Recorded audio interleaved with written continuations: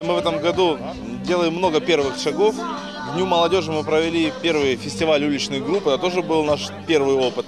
Уже есть определенные выводы. Мы знаем, как на следующий год поправим, проведем еще раз и в еще большем масштабе.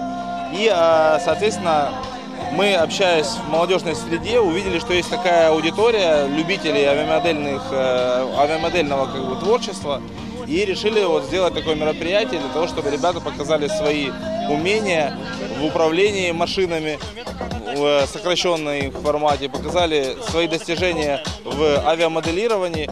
И вот сегодня мы собрались здесь, чтобы все это увидеть своими глазами, пригласили севастопольцев посмотреть на это мероприятие. Люди с опытом должны делиться своим опытом и должны вовлекать в свое увлечение молодежь.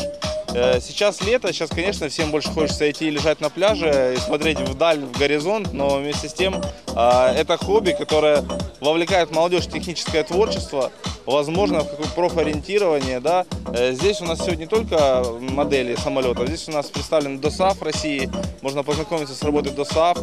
Э, Это патриотическое воспитание, это занятость молодежи, это досуг в летний период. Я думаю, это интересно должно быть и увлекательно. Вот занимаюсь этим давно. Вот, в рамках э, этапа, этапов Кубка Крыма у нас проводится с 2008 года. Был э, дважды обладателем Кубка Крыма по радиоуправляемым моделям воздушного боя. Давно это сколько? Ну, первые попытки были еще в седьмом классе в школе, то есть это давненько, то есть э, лет 30 с чем-то назад.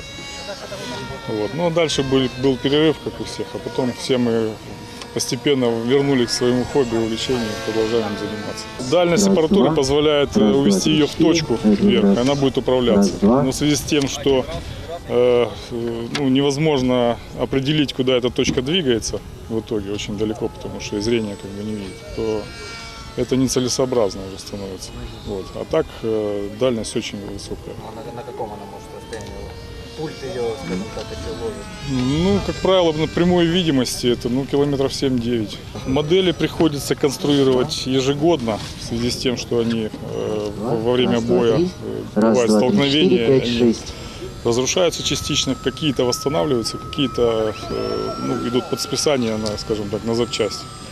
Вот. А э, каждый год э, в связи с тем, что появляются какие-то новые конструкторские мысли, идеи для того, чтобы улучшить что-то там, усовершенствовать. Конструирование модели, ну, в общем-то, необходимы элементарные знания по аэродинамике, по э, прочностным характеристикам материалов различных, для того, чтобы их правильно расположить, применить.